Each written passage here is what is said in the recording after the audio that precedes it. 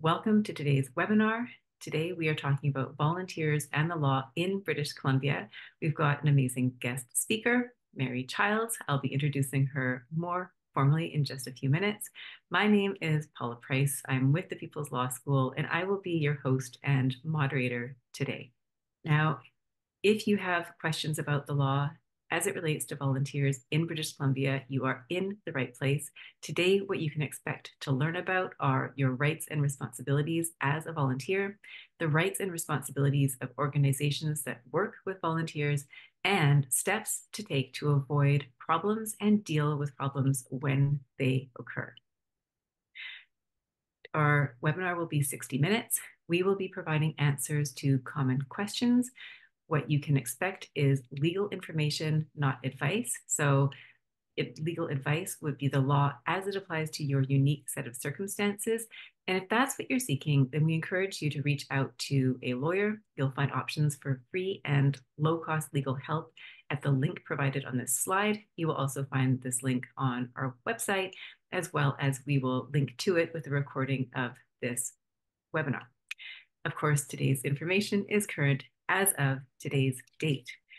The People's Law School team would like to express that we are grateful to work on the unceded traditional territories of the Musqueam, Squamish, and Tsleil-Waututh nations whose peoples continue to live on and care for these lands. And we invite everybody who has joined us today to reflect upon where it is that they are joining us from. We would also like to thank our funders, the Department of Justice Canada, the Law Foundation of British Columbia, and the Notary Foundation of BC, whose funding makes production of our webinars possible. And finally, we would love to thank and welcome our speaker today, Mary Childs. Mary Childs is a lawyer. She is currently general counsel with the Tsawwassen First Nation. She previously practiced with a national law firm working primarily with charities, cooperatives, and other purpose driven organizations. Mary chairs the Board of Governors of the Law Foundation of British Columbia. She is a member of BC's Passenger Transportation Board, and she chairs the Motor Dealer Customer Compensation Fund Board. In addition, Mary has held academic positions in law faculties both in Canada and in the UK. So we are absolutely thrilled to have Mary here with us today. Welcome, Mary. Thank you very much for that introduction, and I'm delighted to be here. It's great to see that so many people are attending from all over the province. Um, I think this is a topic that uh, is of very broad interest because so many Canadians are volunteers. Um, according to Imagine Canada, which is uh, an organization that uh, provides a lot of support and uh, advocacy for not-for-profits. There are approximately 13 million volunteers in Canada, and they give close to 2 billion hours of uh, volunteer time each year. And apart from, in addition to those volunteers, the not-for-profit sector in Canada employs something like two and a half million staff. So it's a really large part of uh, Canadian society and uh, the Canadian economy. And so it's important to all of us to think about this. And I'm very happy to be uh, discussing this topic today.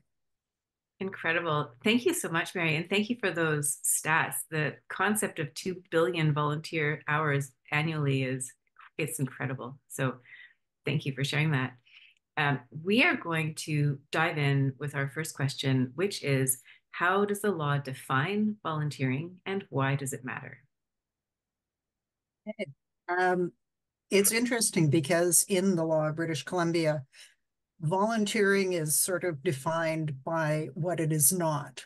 Um, being a volunteer is not being an employee. So, broadly speaking, a volunteer is a person who gives their services without in exchange the promise of being paid or either receiving goods or services in exchange. And generally, they are donating their time and services to a charitable or not for profit organization. Um, and that is a very important distinction. Uh, the reason that we are concerned about, or a very important point that they're uh, donating to not-for-profits. Generally speaking, uh, the law will not commonly regard somebody as a volunteer if they are doing work for a for-profit organization. And I'll talk about that more in a minute.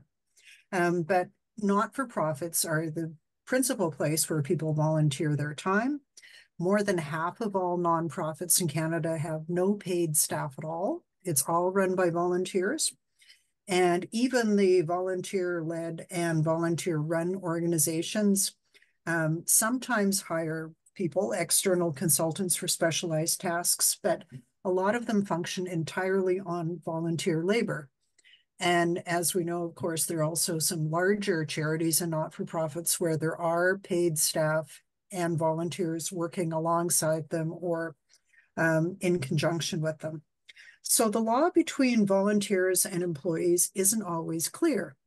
Um, you may have several people working on a project or program for a not for profit, and some of them are volunteers and some are, are employees. And the distinction between the two is really important.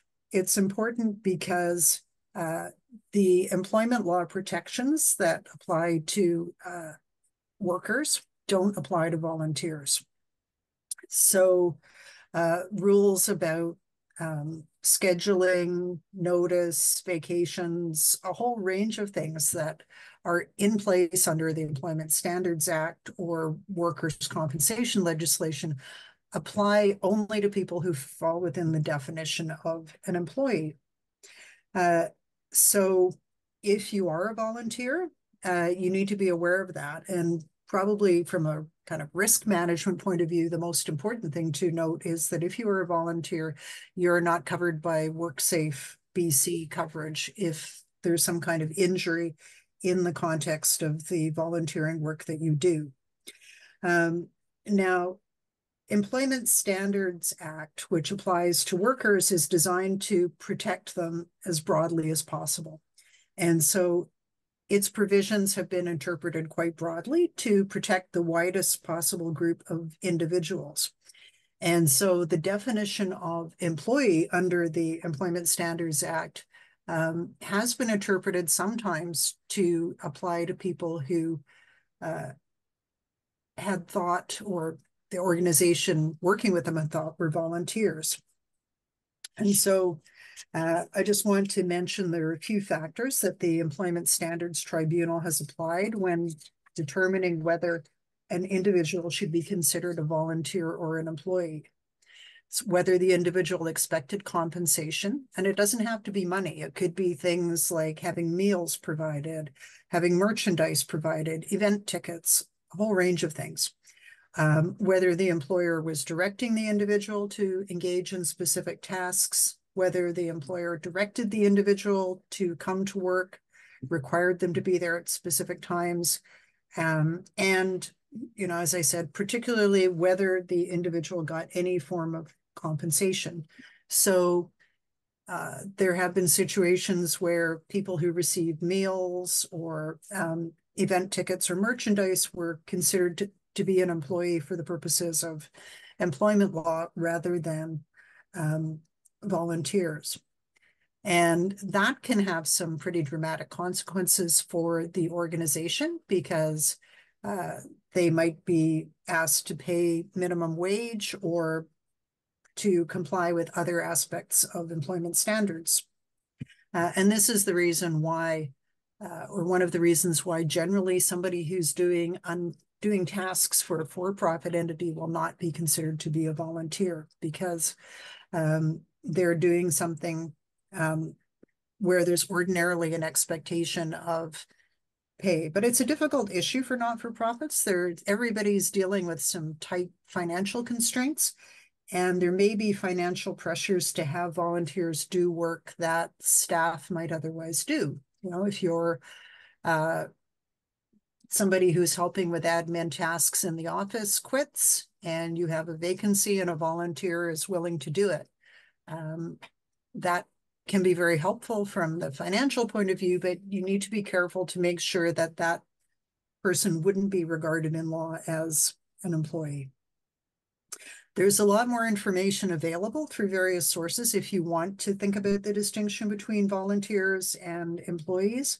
Uh, Volunteer Canada is a great organization that has some information on its website. And there's also guidance provided by WorkSafe BC and the Employment Standards Branch about the distinctions between volunteers and employees. Excellent. Thank you so much, Mary. And we can provide links to those websites along with the recording of today's webinar. Um, our next question is, what are some of the factors that a person should consider before volunteering? What types of questions should a volunteer ask an organization before they volunteer? Um, well, this is a very good question, and it's something everybody should think about uh, because there are so many different kinds of volunteer positions out there, from sitting on boards to, uh, you know, helping out um, with environmental cleanups or, uh, you know, things can be very uh, at very different levels of physical demand, mental demand, different time constraints. So I would say the most important questions to ask are those that help you determine whether this particular position is a good fit for you and what your expectations should be before you commit yourself. So the first obvious question is what kind of level of commitment is expected? Are you being asked to attend a meeting once a month for a couple of hours? Are you being asked to give a day a week of your time? Um, is it, you know, what sort of commitment level is re is required? Are you expected to agree that you're going to continue doing this for uh, the next two years? Is it just helping out for a few weeks? So think about what those expectations are. As with so many things in life, uh, the important thing is to make sure that both parties to this organization, to this arrangement, the volunteer and the organization have the same basic understanding of what the expectations are. So before you consider, think about um, what the organization is going to do. If you're thinking about volunteering with a specific organization, um, you may think it's a great organization. Think about what uh, what they do generally. What are the uh, programs and services that they provide. There may be um, more than one volunteer position and think about which one is right for you. Think about your own qualifications and how and your interests and how you would like to use those for the benefit of the organization when, that you're volunteering for. Um, you know, every organization, uh, it seems, would be very happy, for example, to have an accountant on their board of directors um, which is a volunteer position generally. And so if you're an accountant, you'll never find a shortage of positions where your financial expertise can be put to use. Uh, but maybe uh, maybe you're an accountant who would really rather help uh, with a volunteer gardening project, you know. So think not just about what skills you have to offer, but also what really interests you. Um, think about the kind of the working conditions or the conditions you're going to be in when you're volunteering? Uh, does it require, uh, you know, sort of physically demanding volunteer work? Is it going to be uh, something that is indoors, outdoors? Think about how what those kind of conditions are. Are you going to be uh, with large groups of people or volunteering on your own? And very importantly, from the legal point of view, what are the risks and responsibilities of the position? Because um, like every kind of human activity, there are risks attached to volunteering. And there are also important responsibilities. We're going to talk about them a little bit more in this webinar. Um, so when you agree to volunteer, you are also um, taking on potentially some legal responsibilities in that context. That's not something that should scare you, but you should be aware of it and think about it before you uh, rush into the volunteering position. Another good question to ask the organization is what kind of training and support they can provide to you to make sure that you have the skills uh, to succeed in the volunteer position. And uh, just revisiting that issue of risk, uh, it's important to think and ask the organization, for example, do they have insurance to protect their volunteers? I just mentioned that volunteers are not covered by WorkSafe BC generally because they're not employees. There are some situations where uh, not-for-profit can arrange special WorkSafe coverage for volunteers, but that needs to be arranged before any problems arise. So if you're concerned about that, if it's a volunteer position where you think there might be some risk of an injury or accident, check and see what kind of insurance coverage they have in case any problems arise. Super. Thank you very much, Mary. Um, moving on to our next question. I helped a local charity with a fundraiser and some money went missing. Can I be held responsible for the missing money? Well, uh, as with many legal questions, the answer is it depends. Um, and it depends on all the circumstances.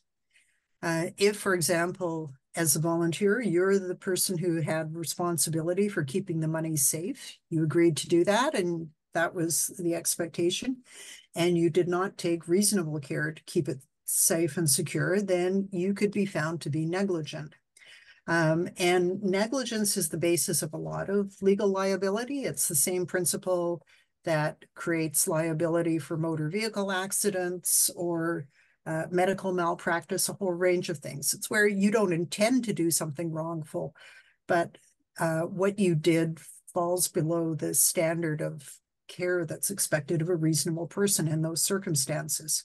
So if you did everything that a reasonable person could be expected to do to make sure that the money was secure. But despite your efforts, something happened, somebody broke in and stole something, then maybe you won't be liable. Um, but if you left the money unattended in a place where it could easily be stolen, then uh, there's a good chance that you could be responsible. So the fact that you are not paid to do the work has no effect on your liability in this situation. Um, you are responsible if what you did was not enough to uh, live up to the standard that we would expect of an ordinary person in those circumstances. It doesn't mean that you have to be perfect. Um, it just means that you have to take reasonable care. So if you did everything that could reasonably be expected of you and some thief stole the money anyway, despite your reasonable efforts, then you may not be liable. So it's uh, very much dependent on the circumstances. Beautiful. Thank you so much, Mary. And, and, I, and I think one of the things you're addressing here is just this idea that volunteers may not be liable because they're not being paid, but in fact, it really is uh, liability based on, as you described, the the standard of care, the what would a reasonable person in that situation be expected to do. Yeah. Amazing. You don't have to be paid to be liable, just in the same way as, you know, people driving down the street who drive carelessly and cause an accident are not being paid by the person who has to be compensated. Um, it's a question of whether you fulfilled the duties that you agreed to take on. So as I said, when you agree to be the per if you agree to be the person taking care of the money, then you agree to live up to the responsibilities of that role, even if you're not paid to do it. Excellent, thank you. And this next example, my daughter's daycare needs volunteer drivers for a field trip. What types of risks would you be taking on? Yeah, well, here's an example of uh, a situation where your responsibilities might actually be above and beyond those of the average person in the situation. For the most part, the law just expects you to take the same care as an average, reasonable person.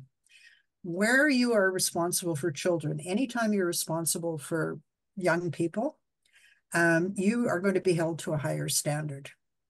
And instead of the standard being that that we expect of a reasonable average person, you will be expected generally to live up to the standard of a reasonable parent or guardian.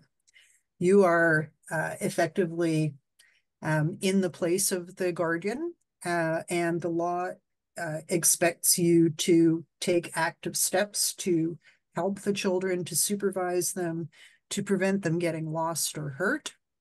Um, you know, if you were driving a bunch of adults uh, on a field trip somewhere, then you're not responsible for making sure that they don't get lost or trip over their shoelaces or anything like that as a general rule. But if you are uh, supervising or driving the kids, you will have a higher degree of responsibility. So you would need to think about do you have, for example, if you're, does the vehicle that you're driving have all of the appropriate safety equipment? Do they, should they have car seats? Do you have the right number of seat belts?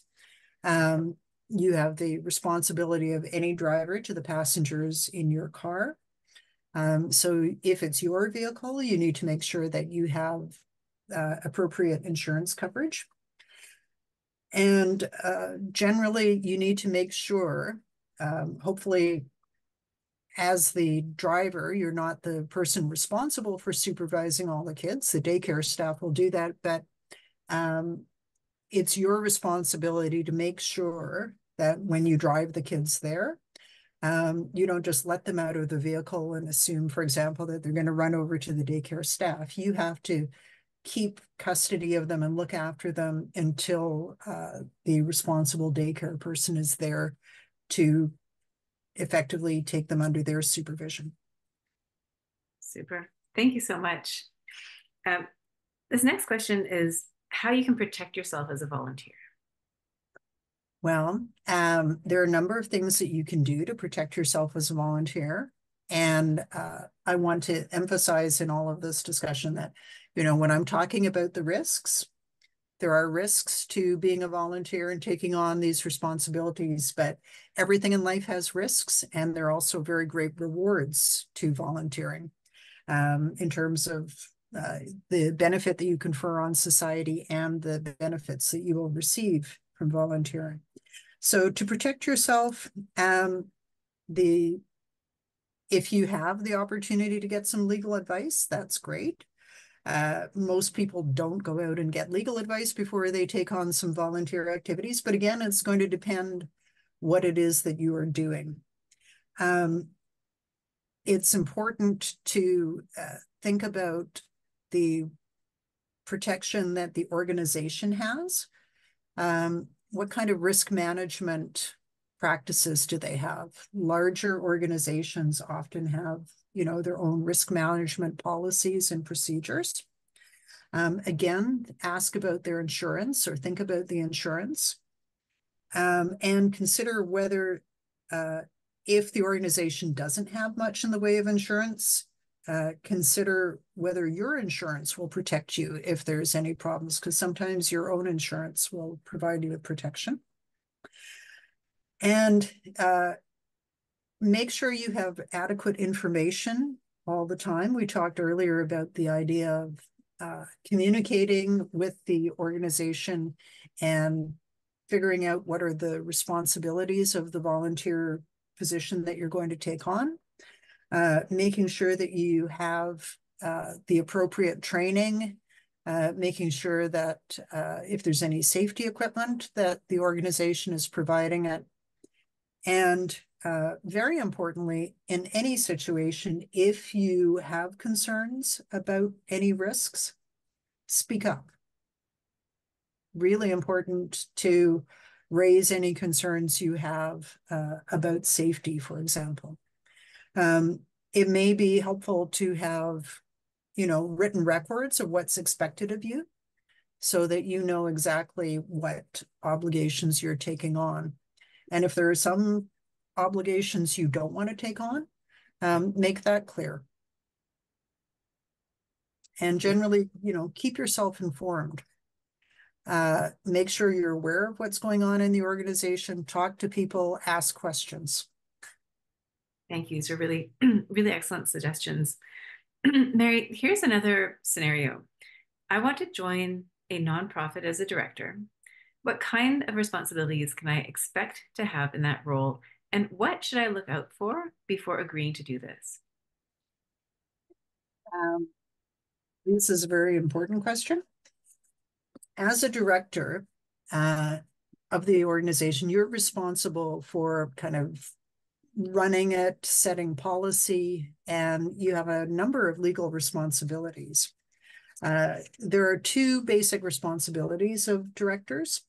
Um, one is what's commonly referred to as the duty of care, and that's similar to the idea of uh, negligence, the idea I talked about before, that you have to take the care and uh, attention and put in the work that would be expected of a reasonable person in this situation. So before you go to meetings, you should read all the materials that you are expected to read. You should uh, be expected to show up for meetings. You should pay attention. use it, ask questions. Uh, so all of those things are really important in fulfilling your responsibilities as a director. Taking appropriate care to make sure that you do the job properly.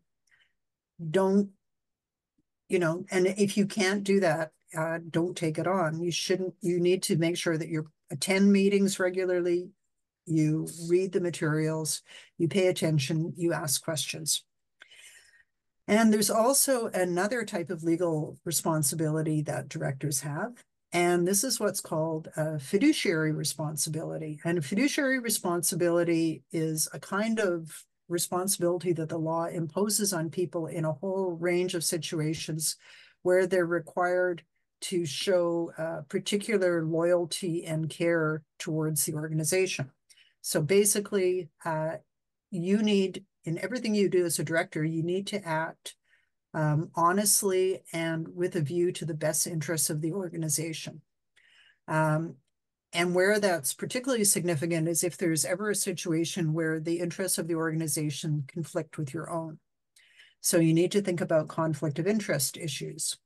Um, and the Societies Act, which is the act that most commonly regulates not-for-profits in British Columbia has a lot of rules about um, conflict of interest. Generally speaking, uh, in all situations, if you think that, let's say the uh, the not-for-profit might want to uh, buy some goods from a business that you own or you have shares in, uh, your interest as the owner of the business is to get the highest possible price. The interest of the organization is to pay the lowest possible price.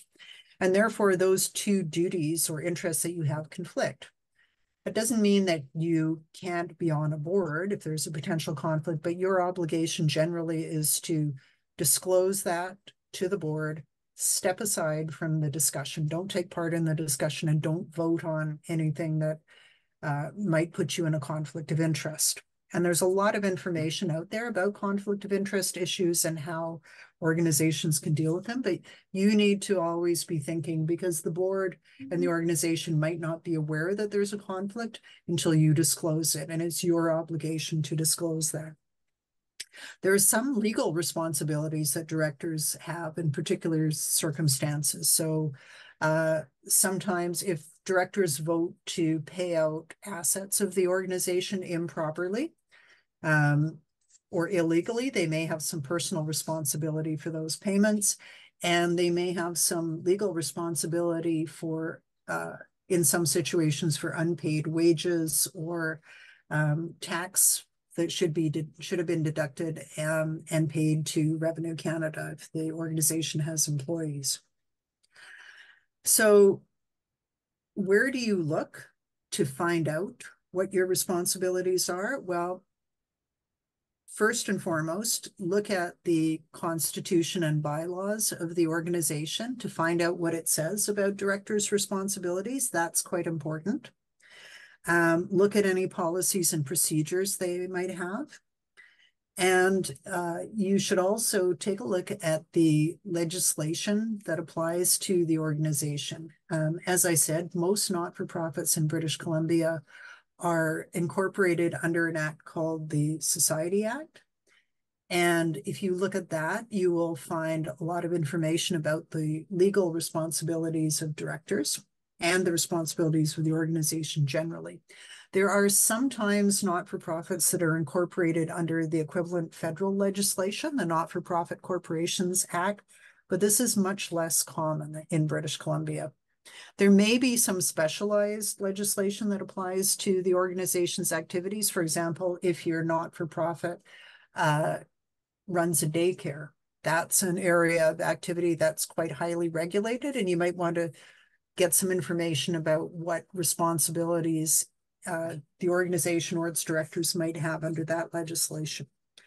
So a lot of information that you might want to figure out. And uh, I'm going to suggest a good place to look for that information. You can find some information, of course, always on the People's Law School website, but there's also a website in British Columbia called Law for Nonprofits. And Law for Nonprofits has a lot of information uh, for directors and officers of British Columbia societies about where to look for information about the organization, what legal duties they might have, how to uh, deal with common legal issues. And that's a very good place to look for some information. Excellent. And there's there's a great deal of information out there from other organizations that work for not-for-profits and volunteers, but that one particularly is quite up to date and it's in very uh, accessible language. It's written in plain English and not legalese and it's very user friendly. It will help you produce checklists and give you guidance documents. Wonderful. And we'll provide links, as mentioned before, to these really helpful resources that you're referring us to. Thank you. Um, here's another example. What happens if you're elected to your strata council for a one-year term and you find that it becomes too much? Are you able to quit before your year is up? Yes, and if it's too much for you, uh, not only can you leave, uh, but you should. Um, it's not any good for you or the organization to have you on the strata council if it turns out to be a commitment that is too much for any reason. And uh, you should step down. You can't be compelled to stay for the full year. Um, you should probably look at the strata bylaws to see if there are any particular requirements about how you resign, whether you have to do so in writing and all of those procedural matters. Um, and generally speaking, well, I think every strata's bylaws will have provisions in there that contemplate this kind of situation and allow the council to fill the vacancy. So um, they may well be able to find somebody else who can fill your position um, who doesn't have the same capacity constraints. Super. Thank you so much, Mary. Uh, this next question is a committee at my daughter's school is organizing a fair. Volunteer parents will help with face painting, popcorn making, ticket sales, and running a dunk tank. What responsibilities does the committee have to the volunteers? Um, the committee should uh, first and foremost think about safety. Make sure that uh, there's reasonable care taken to ensure that the volunteers and everyone at the fair are safe. Um, so, uh, you know, make sure the dunk tank is not dangerous. Uh, make sure that everybody has kind of clear understanding about what they're supposed to be doing and there's a good or system of organization so people know. to get back to our previous example, if somebody's selling the tickets, uh, you want to make sure that everybody understands who's going to be in charge of the money and uh, reduce the risk of problems arising. Uh, and there's also uh, for volunteers as well as employees, there are requirements uh, that under human rights legislation uh, you not uh, discriminate against anybody on a protected ground. So make sure that, um, say, for example, if you have volunteers with disabilities, you try to accommodate those as much as possible and make sure that uh, you do whatever is reasonably possible to support their participation. Um, and you also, you know, should make sure that generally everybody feels comfortable and safe and has a good understanding of what their expectations are. Fine. Thank you, Mary. Um, this next question is, I volunteer for a not, sorry, a nonprofit organization that runs an annual festival. Um, one of the volunteers led a friend into the festival against the rules. The friend fell and injured herself while dancing at a concert. If the friend starts a lawsuit, Would the organization be responsible for compensating her for her injuries? And yet again, the answer is it depends. and uh, the first thing I would say is that the fact that it was against the rules for the volunteer to let the friend into the festival doesn't affect the legal position. Um, she's that friend um, is in no different a legal position than if uh, she had bought a ticket to the music festival. Um, the question is really whether uh, there's any fault on the part of the organization uh, that led to the injury. So, uh, generally speaking, let's say the uh, the dance floor was slippery and not enough steps were being taken to make sure that spilled drinks were wiped up or um, something like that, and that caused the accident. Uh, was the dance floor too crowded and nobody was paying proper attention to the crowds and capacity of the event? Those are the kind of things that could lead to legal liability on the part of the organization if they didn't take reasonable care to make sure that it was a safe environment for everybody attending it. Um, you know, it's reasonably foreseeable if you run this kind of event that, you know, people are going to dance at the concert and uh, you can't take steps to prevent everybody falling down, but you can make the uh, the situation as safe as reasonably possible. So did they trip because there was an electrical cord running across the dance floor that people hadn't properly uh, secured. Well, in that case, it might be the legal responsibility of the organization. But if uh, the friend is just a particularly exuberant dancer and uh, a little bit clumsy and tripped over her own shoelaces, probably not the responsibility of the organization. It's going to depend very much on the facts in each case. Um, and it may be that there's a bit of both. Um, liability, responsibility for accidents isn't uh, you know, a black and white situation. It isn't entire, it may be and partially the responsibility of the organization, partially the responsibility of the person dancing. Uh, everybody has is expected to take reasonable care of themselves. Um, so if she was careless and the organization was careless, there might be uh, some kind of split of responsibility. Thank you, Mary. Um, this next question is I run a small not nonprofit that relies on volunteers on a regular basis. We like to keep things simple. Do we need to have a policy in place for our volunteers?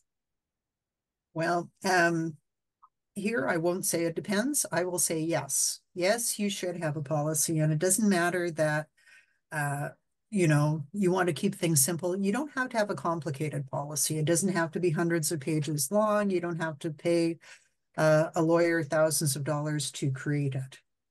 Um, there are a lot of examples available online, and uh, there are a number of places where you can get free advice or affordable advice on what you might want to put in the policy. A policy is important because it helps both parties, the organization and the volunteer, um, by setting out some clear expectations about roles and responsibilities and procedures um, it can reduce the risks of a disagreement about a whole range of things. Um, by and large, I would say, in my experience, the vast majority of situations where people end up in legal disputes, it's not because uh, one person intended to behave badly, but it's often because people have different ideas about what's expected because they haven't sat down and talked it through or they don't have it written down anywhere.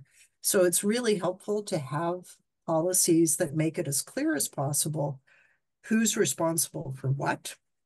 Um, and that reduces the risk of disputes arising um, even between people who both had the best of intentions. Uh, there are certain situations also where the law is going to require you to have policies, such as with respect to privacy pretty much any organization that operates in British Columbia is required to have a privacy policy if they are uh, using, collecting, um, or sharing personal information.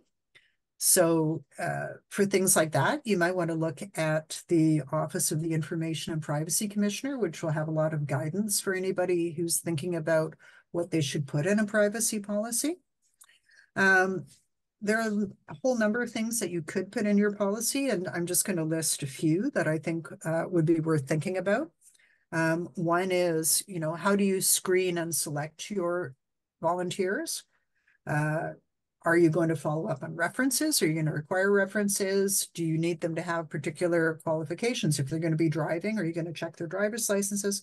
And for some kinds of volunteer positions, if they are going to be working with vulnerable populations like children or elderly people, um, you may have to have uh, certain types of criminal record checks for them, vulnerable sector checks. So anytime uh, your organization is in that kind of space, working with vulnerable populations, you need to think carefully about what your policy is with respect to background checks. Conversely, you shouldn't be going too far in that direction because for most uh, positions, whether volunteer or paid, you don't need to have criminal record checks. Um, you should have pretty clear descriptions of the positions when somebody is volunteering, what kind of roles are you expecting them to take on? Just like when you hire someone, you want to have a job description for them. You need to have also uh, the equivalent for volunteer positions. So everybody knows when, uh, well, what the person's supposed to be doing, how you're going to measure that, what the expectations are. Uh, it's good to have a pol your policy deal with orientation and training uh, things like supervision and mentoring and feedback on performance.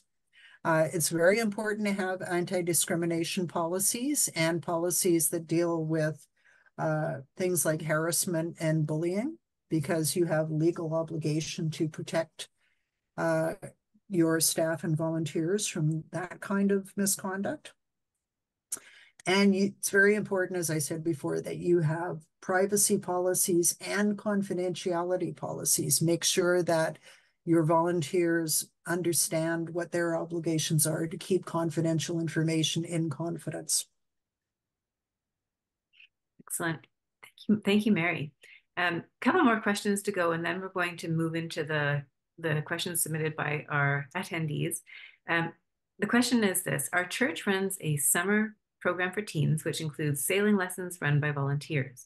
I've been told I should look into waivers and insurance. We're on a very tight budget. What should I do? It, waivers and insurance are very important.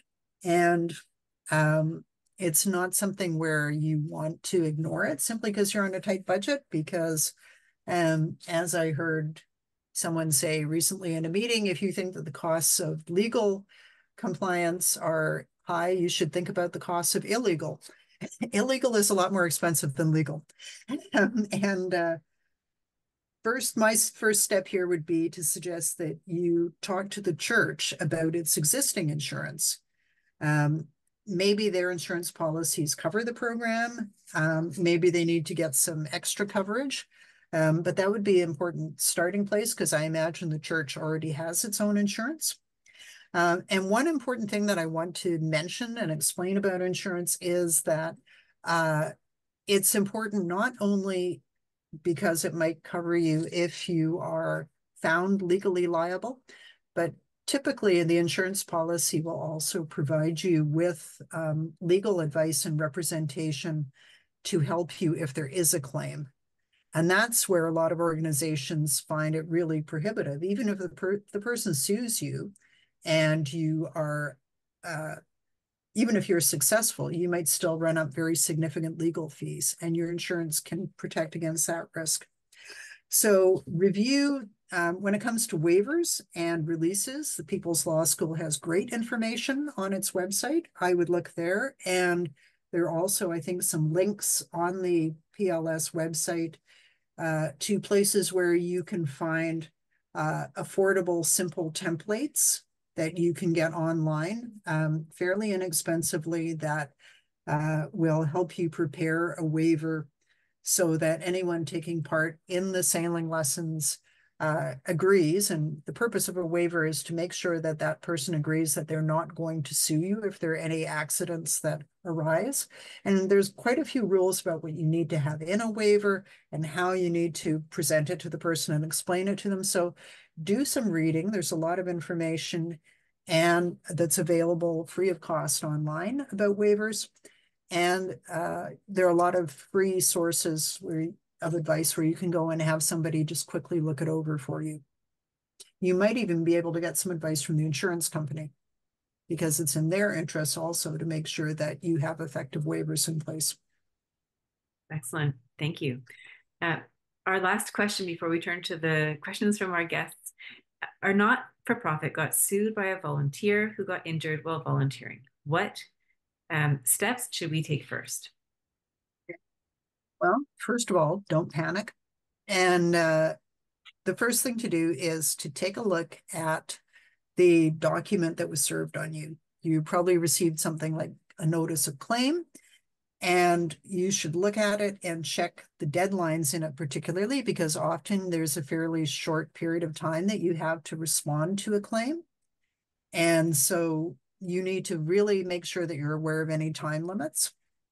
Um, you should call your insurance company, assuming that you have insurance, because as I said, they not only may be able to help you uh, paying any compensation claim, but they might be able to get a lawyer to respond to the claim on your behalf. If you don't have, uh, well, even if you do have that coverage, make sure that you gather all of the records that you might have of the incident, get facts clear, um, if your insurance company is not providing legal advice, uh, see if you can find some other way to get advice. Um, there's useful information on the uh, People's Law School website about what to do if you get a legal letter. And that information covers uh, and is helpful for not just this kind of claim, like a personal injury claim, but there are a whole range of situations in which your not-for-profit might find that there's some kind of legal claim being brought. Could be small claims, human rights claim, a claim about a privacy violation. And in each case, if there is a tribunal involved or other body, go and look at their website for specific information about how to respond and any deadlines that might apply. Excellent. Uh, and if you have any court forms, just one last point, they you might need help filling in. Uh, there's a pro bono organization called AC Friends of Court that will help anybody who asks, um, offers its services in different languages, and it provides assistance filling in court forms. Beautiful. And thank you so much, Mary. The the references that you're providing as well are so helpful. So we will be linking to those along with the recording of today's webinar. Um, turning to uh, our first question, if a volunteer's role involves using their own vehicle, does their own vehicle insurance cover them, or does the organization pay for increased insurance? Well, the first thing to do, I would say, again, I'm going to keep saying it depends. Depends what you're doing in the vehicle. Um, and depends on the coverage of your insurance policy. So if you are regularly going to be using your vehicle, say to transport people, maybe you're a volunteer helping people get to medical appointments, um, I would check with the insurance company, talk to your insurance broker or ICBC to make sure that your coverage is appropriate. And if you need some kind of additional coverage, then uh, it may be appropriate to talk to the organization and see if they will reimburse you for those costs. Excellent. Thank you. Um, I am a 76 year old. I do a lot of volunteer work for a strata, gardening, landscaping, physical work. Is there coverage if I'm injured? Is there any age restriction regarding coverage for people my age? Um, not that I know of. I mean, works if they have WorkSafe BC coverage, which they might not have if you're just volunteering, um, then that applies to workers of any age. There's not a cutoff date. Uh, and generally speaking, if it's, uh, you know, the strata's insurance policy, and every strata should have a pretty robust insurance policy, um, it will depend on the insurer. I mean, the the strata itself wants to protect itself against liability, so I wouldn't expect that there's an age limit, but it's going to depend on the policy in each case. So you should ask uh, the Strata Council maybe for a copy of the insurance policy um, so that you can review it yourself. Excellent. Thank you. Um, when volunteering as a Strata Council member, is the Strata Corporation considered a nonprofit? Um, well, that's a good question. It's not a nonprofit in the ordinary sense, uh, in that it's not incorporated under the Societies Act. The law that applies to strata councils is the Strata Property Act. And so you wouldn't go and look at the rules about uh, societies or federally incorporated not-for-profits, but the general principles are going to be pretty much the same, like the liability of directors uh, is pretty much the same as the liability of members of the strata council. Um, but it's a very good point that there's a specific uh, statute that applies. Uh, and that would be the place to look for the starting point of those legal rules and also the bylaws of your strata. Excellent, thank you. And I just wanted to acknowledge all the questions that have come in today. They're really excellent questions, and we'll we'll have Mary look at as many as we can. We've got a few minutes left, um, but just wanted to acknowledge them. Thank you. Um, this next question, can you be sued personally for serving on a volunteer board for a nonprofit? For what reasons or actions could you be held personally liable? Well, your liability is um, if you do something, uh, for example, that is in conflict of interest uh, and you profit by that, you will have a legal responsibility to pay those profits back to the society. Um, generally speaking, directors are not personally responsible for the acts of the not for profit itself, but there may be times, let's say, if you are acting fraudulently and your fraudulent behavior uh, affects a not for profit, you might be personally responsible. Uh, and as I said before, uh, sometimes there's personal liability for things like unpaid taxes and employment insurance. It is very important, um, you know, that you think if you're on a thinking of joining a board of an organization that has some money, has some assets, or where you may be responsible for considerable assets, think about whether they have directors and officers liability insurance. Um, it's unfortunately can be quite expensive, but uh, that insurance will provide legal protection for directors and officers if they are sued for anything that's said or done in their capacity as directors and officers. Um, and that's one of the questions you might want to ask about that specific type of insurance before you think about joining a board. Excellent. Thank you, Mary. Here's a question that goes back to the definition of volunteer. We have volunteers that have volunteered for more than five years. Does the number of years make them an employee or would they still sit as volunteers? A number of years does not make them an employee. Um, it's not a question of time. You can have volunteers who commit a lot of time to helping out for many years. Um, and you can also have, you know, employees who are there for a much shorter time.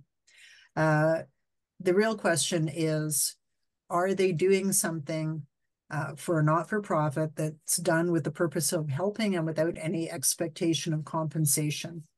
Uh, so, for example, board members, or well, I've known people who volunteered on boards for many years, uh, and that has its advantages and disadvantages. But it's not a question of of time. But it's a very good question. Excellent. Thank you, Mary. And there are so many amazing questions. We're not going to get to all of them. I think we probably have time for one more. Uh, and this question is again related to the definition of volunteers. I, I believe the, the question is um, to please comment on stipends, honorariums, and other types of compensation, such as passes and tickets. Well, um, as I mentioned at the beginning, that type of compensation can, if it's significant, cause uh, an employment standards tribunal or WorkSafe to think that somebody is a worker rather than a volunteer, they're an employee rather than a volunteer. I mean, from a WorkSafe point of view, it might be good for them if they have coverage, but would not be good for an organization that hasn't paid the appropriate premiums. Um, you know, if what you're getting is lunch provided as you're spending the day volunteering, nobody's going to think that that makes you an employee. Um, but if you're getting significant benefits in exchange for a relatively small commitment, that's a very different matter. It's unfortunately, again, the answer is almost always it depends on the circumstances. There's no kind of bright line. Beautiful. Thank you, Mary. And I'm going to squeeze one last question in um, that's related to waivers. I, I, think we have just a moment, but um, the question is, what should be in a waiver for volunteers? Any examples? And you mentioned before there's uh, a link in the People's Law School website, so that's another really helpful place to go. But any thoughts before we wrap up? Yes. Um, the most important thing about a waiver is that the person who's signing it is really, really clear about the fact that it is a waiver and that they are giving up their legal rights to sue you if something goes wrong. So uh, having a document that is as clearly worded as possible, you know, like if you go skiing, you'll see a waiver that you have to sign and it'll be in bright information in bright yellow with red lines around it to make sure that you don't overlook the fact that there are some serious legal consequences because uh, there are serious consequences. Uh, someone who signs an effective waiver is not going to be able to sue. So you need to make it clear. It should uh, state very clearly what the risks are. Um, if it's a waiver that just says, I agree to waive uh, any claims for any risks, that's probably not effective. But if it says the risk of this particular type of activity is, say, injury, uh, maybe a car accident, uh, whatever the particular risks are, the more specific it is, the greater the likelihood that a court would find that that waiver was effective. Because the whole question is, did that person really understand the seriousness of what they were uh, agreeing to when they signed the waiver? It's important that the person has some time to think about the waiver before they engage in whatever the activity it is. You don't get them to sign it in the car on the way to the activity they need to be able to make a decision. Am I going to sign the waiver and take part in this activity? Or am I going to not sign it because I don't want to give up that protection of being able to sue? So clear and comprehensive. And it's a struggle maybe to balance those two, but try and keep the language keep the language clear. Make sure that that person is as, as informed as they possibly can be with that, Mary, I really wanted to thank you again. Uh, you have shared so much information today and answered all of our prepared questions and these additional questions comprehensively. And so just wanted to thank you and ask you if there's anything that you'd like to share with our guests before we wrap up today.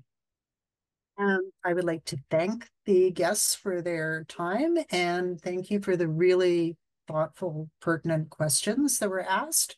And I would also like to express my very real gratitude to everyone in this uh, webinar who is a volunteer or supports volunteers or works with a not-for-profit organization um, because they are such an important part of uh, our society and uh, I can't uh, can't say enough about the respect and gratitude I have for volunteers.